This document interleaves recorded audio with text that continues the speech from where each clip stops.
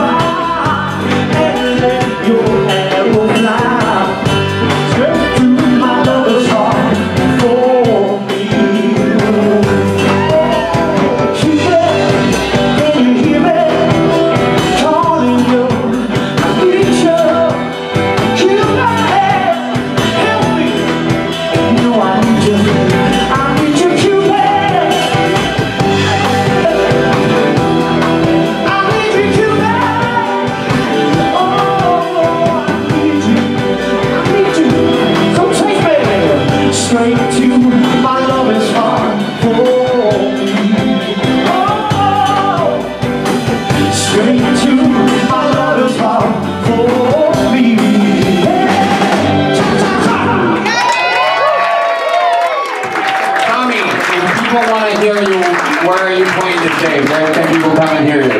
You have to be three years old to hear me right now. I play for little kids. All right, and how about this band? I want to take a second. Tony Submarinos being the director and my foil in this event for eight years. Tony, can you introduce the band for me, please? Be happy to do that for you. Mike, that's Sean, Sean, Mike. Sean, that's Peter, Peter, that's Sean, Sean, Tommy, Art. Take it away, Dino. Nice to meet you. Yesterday was John Lennon's birthday, and some of you may be here for a phenomenal event that was put together by my next singer, Scott Damgard. Uh, a great singer-songwriter on his own. He has just released a really, really good record. It is Titan something, I'm sorry. No, no, Titan. Titan out on Titan. Look for him, he plays all around town, and ladies and gentlemen, Scott Damgard. Thank you, Dina.